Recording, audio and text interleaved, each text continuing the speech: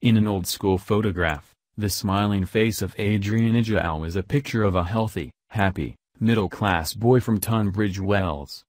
Beaming with satisfaction after a football marathon, he stood on the cusp of a fruitful life. What led that bright, sporty, popular teenager to become the Islamic State-inspired killer responsible for the attack on Parliament this week confounds those who knew him then and is now the focus of a urgent and sprawling investigation by the security services. He was a smashing guy, really nice chap, said Stuart Knight, an old classmate at Huntley's school. The picture of us in the football team was after we did a 24-hour sponsored football match to raise money for the sports hall. We would have been about 14 years old.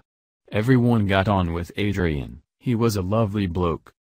But there are themes running through the life of Adrian Ajao, who was born as Adrian Elms and who died as Khalid Masood that help explain what went so terribly wrong and turned that lovely bloke into the most murderous terrorist in Britain since 2005. They include a shifting identity and a conviction, perhaps paranoid, that he was an outsider as the black child born out of marriage in the 1960s to a teenage white mother in Kent.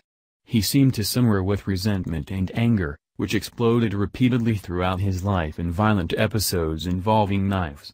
It was a toxic combination that found its most deadly outlet when he embraced Islamic extremism in its most violent form.